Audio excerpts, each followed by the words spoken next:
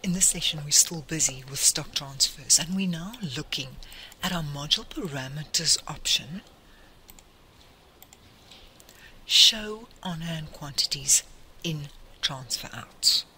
So if this option is on, you will have an extra field within your stock transfer out screen that will display your actual on hand quantity. Let me show you. If I click accept here and I go to stock, utilities, stock transfers, and I say stock transfer out, I will choose my company. I'll say transfer to, select your company.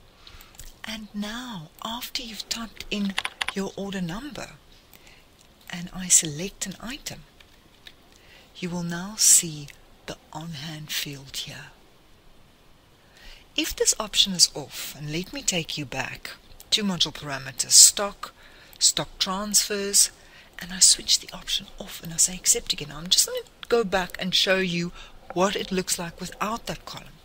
We say utilities, in other words, stock utility, stock transfers.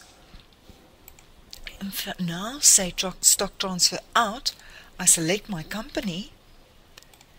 You will see, select your item, the field here on hand quantity is not here.